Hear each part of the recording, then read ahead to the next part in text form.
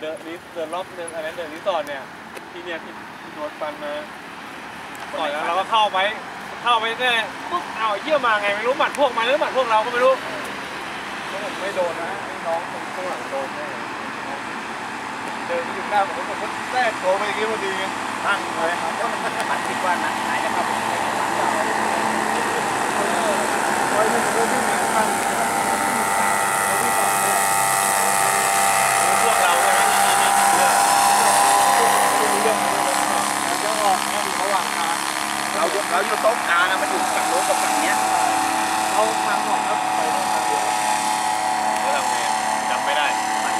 ใส่ข้อสั่งไม่ใส่มั่วเลยอะผมไม่รู้กูไม่ใส่มั่วอีกอะโดนดิบแล้วก็